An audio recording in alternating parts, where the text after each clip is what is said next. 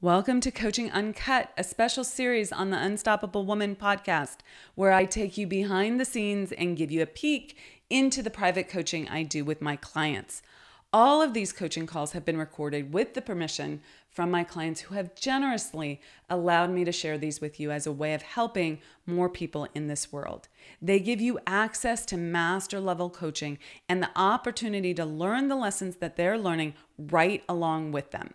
Please keep in mind that these recordings are not studio productions and the audio quality may be less than ideal, but the content will take you far and help you become unstoppable.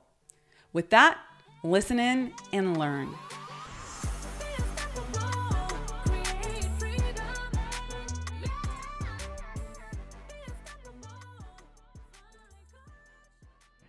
Hello. Hey there.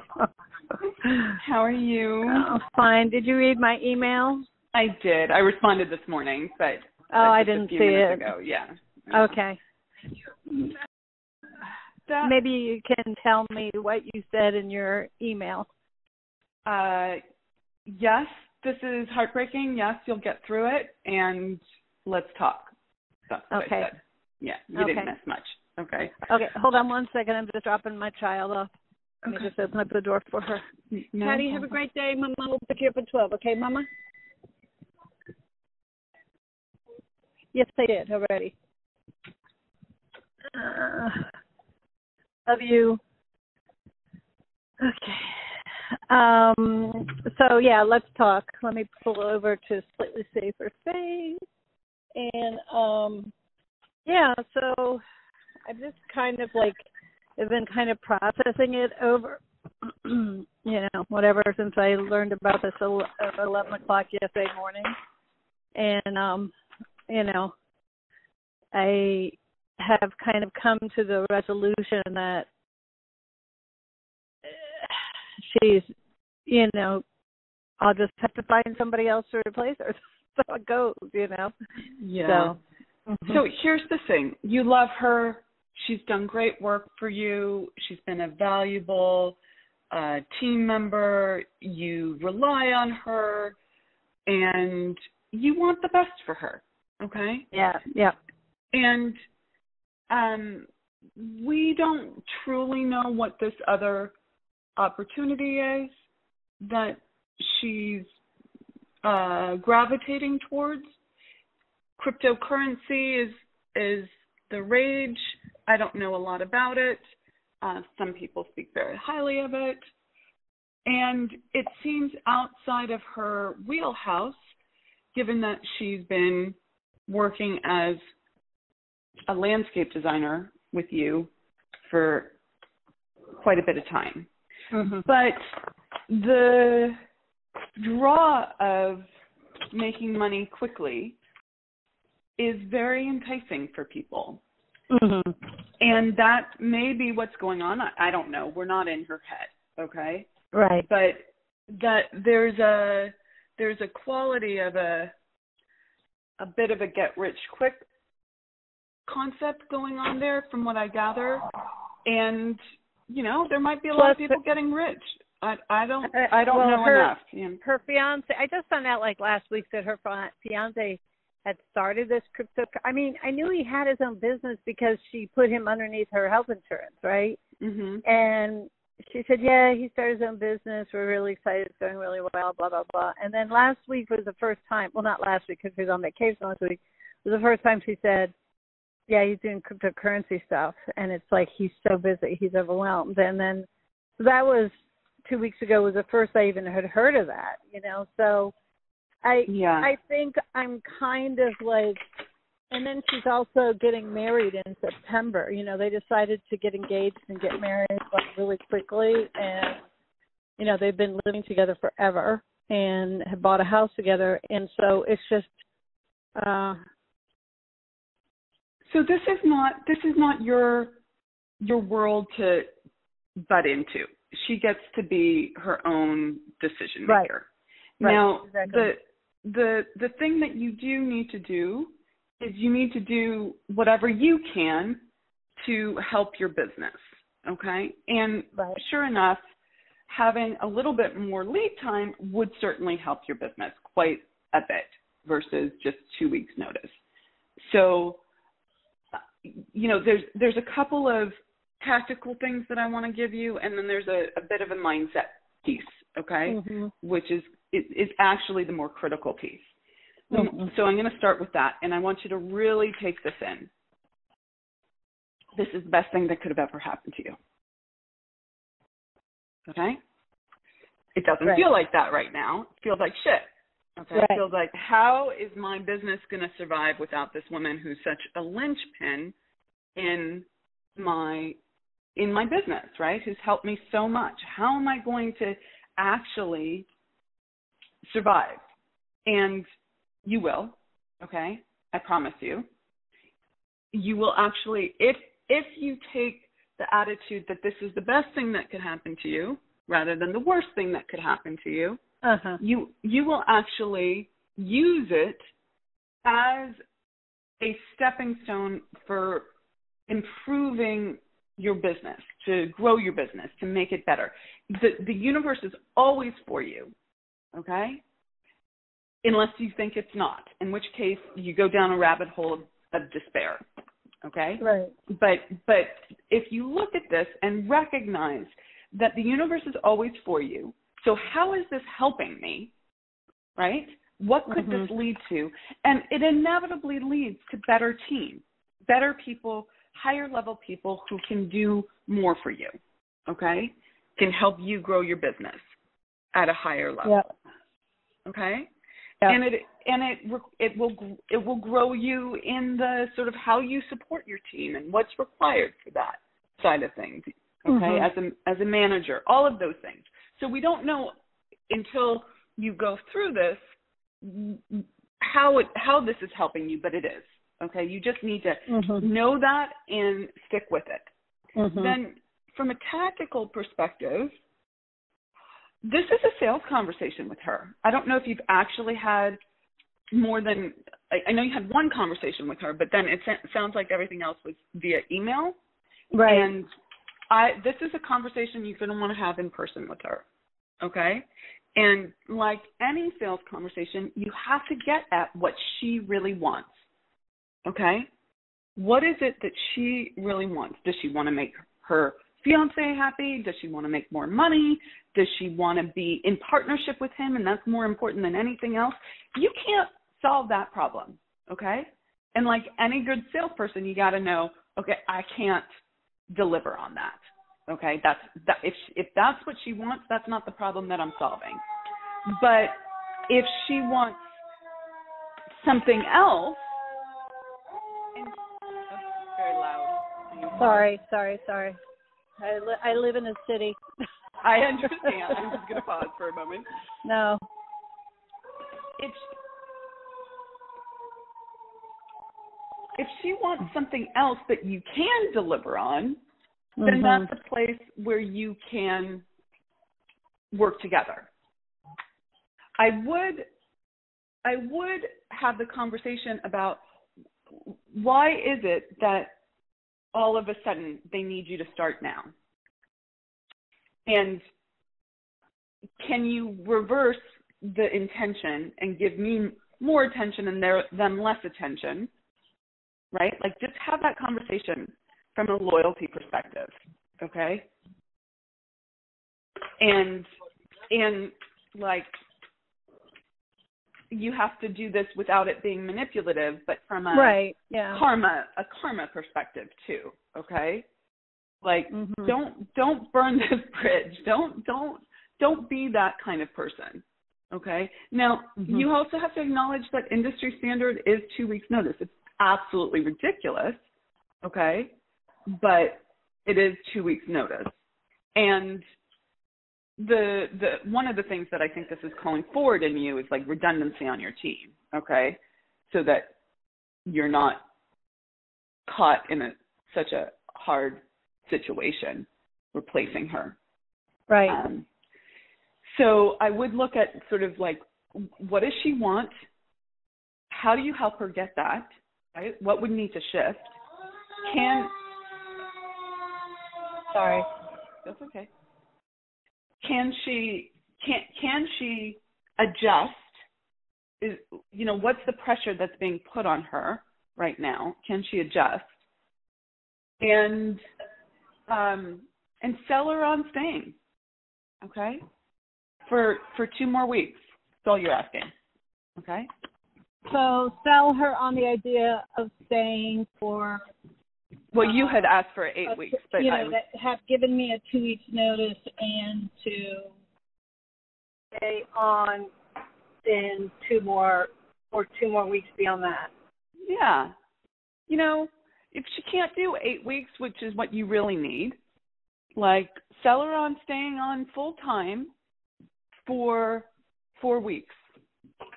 Can she can she do that do the work here and work for the other biz for four Right. weeks okay like it will Right. be a 60 80 hour week for her you get that but from a loyalty perspective right can she do that So how do how do you talk about that without speaking to, you know, and to the loyalty thing? You know, like how do you speak about it without saying? Because I feel a little bit like when you say, in order for you to be loyal to me, you you know, I'm asking you to stay for two more weeks. Like, how do you talk about it without it being manipulative? Manipulative. And, yeah yeah. I think you you just get really honest with her and you say something along the lines of you know, we've had a really long working relationship and that I have greatly respected and come to rely on and I hope that that's been the same for you as well. And I completely respect and appreciate your desire to to change. It's you know your whole industry. It's a little confusing for me. I won't I won't you know uh, tell you it's not. But that's that's absolutely your your life, your decision, your your desire. And I'm wondering if we can have a conversation about the like keeping the depth of this relationship going while allowing you to step forward into what you want. Right. Okay? So yeah, okay.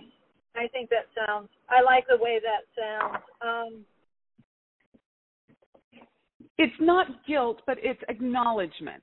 Okay? right. Right. it, it's like let's let's say you know you're you're pointing out that you have relied on her. You're pointing out that it is a deep relationship. That it's not just a paycheck, and that it means something beyond just a paycheck, and that you would Can I? See, yeah When you read that, when you read that email that she embedded, that I embedded in the email to you from her, it it and the way that she spoke to me to give me notice, it sounded really confused and like she's articulating really strong boundaries, but out of a place of um.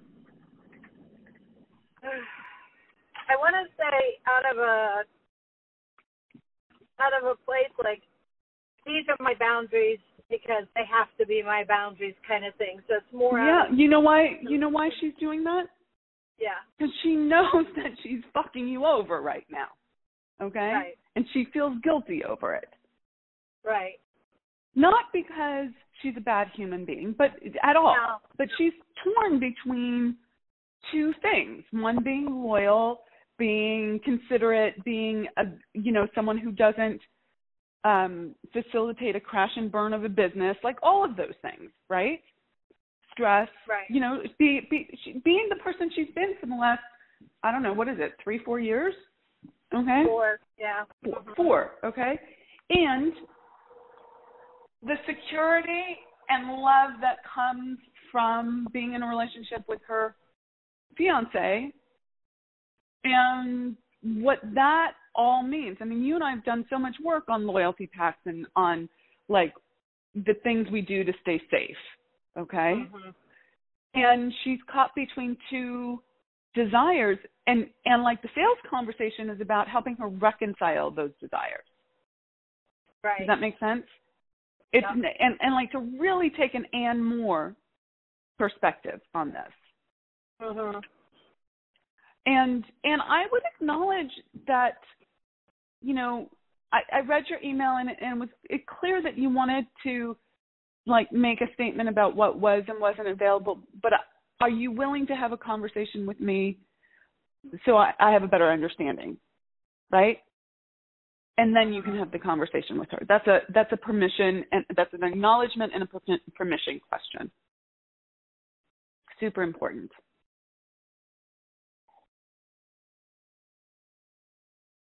I'm writing this down. That's why I'm silent. Um, I'm recording this. Would you like me to send it to you? yeah, that would be great. Thank you. You're welcome. Okay. So this so so now let's work on your heart. Can we do that? Yes. Okay? Cuz you have the mindset piece and you have the tactical piece, right? Which is you need to have a conversation with her and and figure out a, a good way forward. And let me add a few more things to the tactical piece before we move on to heart. You, you need to you, you're having a conversation with a landscape person today, so that that's good. Um, you need to ask her if she if you haven't asked her already for um, people she might know. Okay. Yes, I have. Uh-huh. Okay. And then you have to activate on a higher level where you you you you know this that there's when you put a demand on the universe you get what you want, okay? And and I understand that sometimes it doesn't happen in the time period that you want, but that's where urgency comes in. Like you've wanted a landscape architect, but you Right, have it hasn't been urgent. Okay. Now we have urgency here. Okay. And because you have urgency, you're going to find the ways and the means to address this issue. And you need to do that every time you have the idea, I'm going to do this, I could do this, you need to go do it. And it and it's massive action, okay? It's like reaching out to your network, everyone you know, placing ads everywhere, um, reaching out to all your past students, reaching out to the people at George Washington University that you may not have talked to recently, like the whole sh- shebang, okay? Mhm. Talking to other people um, in the biz, seeing if they have anyone who wants to do freelancing, right? Doing that Upwork stuff that we talked about, okay? Right. Like it just is going to force it's going to force you to work like work the whole thing. Okay? Okay. Okay. So so then heart. How do you feel? Uh-huh. At this moment, I feel really good. I, I mean, I feel like aware, like I have all my spider senses up, sort of thing. But um, I feel like very committed to being in a place of like what you were saying, like um, this is really a gift. This is really, you know, what was supposed to. This is what was supposed to happen um, and I am conscious of saying to the part, the little part of me that says, "Oh, I want to be resentful. Oh, I want to be angry. All this stuff." And I don't want to feed that at all. I feel very much like, you know, I'm really, you know, if if I just sit with it, like I'm really happy for her that she's getting this deeper understanding, or you know, that she's moving in a direction of being committed with her fiance and da da da da da da da, making more money and all this stuff. And I feel really okay with that. Last night I was just exhausted and tired, and I was having difficulty sleeping, so I kind of like took I don't know Advil PM or something, and I slept in, and I took a bike ride this morning, and I breathed deeply and I reached out to my my mastermind sisters and all stuff and I feel like I feel like like okay this is just what it means to be in business sometimes. You know is leaving at the end of the month and now leaving at the end of the month or in two weeks or whatever.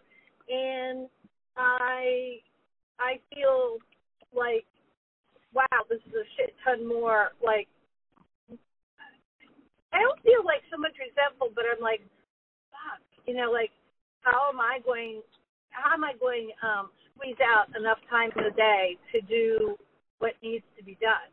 You know, because we're we're hopping and a bopping, you know, and so that's that's how it that's how it is. So I just feel like it's like last night I was feeling just freaking exhausted, and today I feel like okay, I've got my kid off at dance. I'm having my conversation with the mirror. I'm going to the job site. I'm going to sit and do my work. You know, like that. I just have to take the day as I take the day. So, yeah, great. I love it. This is resilience, right? Yeah. This is this is And a great attitude. word. Yeah. This is the word that kept coming to me during my bike ride today. Yeah. Yeah. Resilience. Yeah. So what I want you to do is everything we talked about. I want you to stay in that resilience. If you get stuck, obviously reach out to me. Okay. Like don't hold back. And and you're gonna do great and you're gonna move past this through this. I shouldn't say past this because it's not a bypassing. It's like Right. you're gonna you're gonna move through this and Yeah. and be in such a better place and stronger for it afterwards. Okay? Right. Yeah. Okay. Okay, All great. right. I'm going to Awesome. out. Okay. Um, I got your text about talking to uh, somebody Yes. uh, that you're interested for the oh, who's interested in the VIP day. Mhm. I feel like I can do that, but I only have really limited windows of of when I'm available to do that. Okay. Just 'cause I Absolutely. so I can text you the times that I'm available to do that, but um, uh, yeah. So that's. Do you want to text me the times or do you want me to just put you in touch with her and have and let her know that you have limited availability? Um, why don't I? Just, I'll I'll just I'll just text you, okay? Okay, that's and then, fine. Um, and then you can have her reach out to me, okay? Okay, When that's fine. when what time works best for her, okay? Okay. Okay. Okay. Sounds great. Okay. Thanks, Mayor. Okay. Bye. You're welcome. Take care. Bye.